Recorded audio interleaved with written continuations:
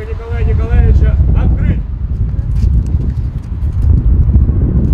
Он был матросом добровольного общества спасения на водах в Абакане, учился в Черногорском аэроклубе, но в рядах Красной Армии стал артиллеристом, командиром орудия, оборонявшего Ленинград.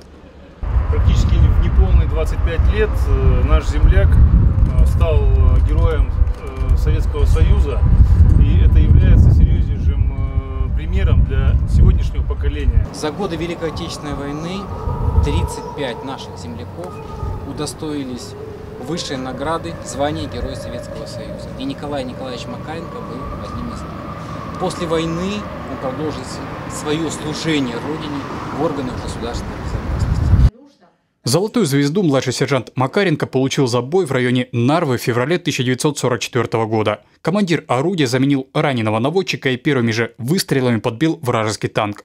Несколько часов расчет удерживал позицию, не давая противнику прорваться к городу на Неве. Еще тогда эту пушку командование отправило на вечное хранение в музей артиллерии, а люди, люди стали героями.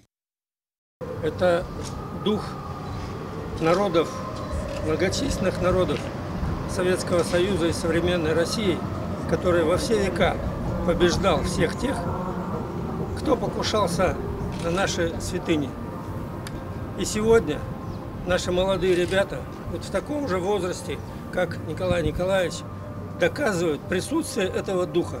Получив ранение, Николай Макаренко был демобилизован. Осенью 1944 года вернулся в Хакасию и практически до самой победной весны 45-го продолжал службу родине, но уже в качестве опер уполномоченного областного управления Наркомата госбезопасности. Его имя золотыми буквами вписано в историю Хакасского УФСБ. С каждым годом ветеранов которые прошли через все тяготы и невзгоды военного времени, становится все меньше.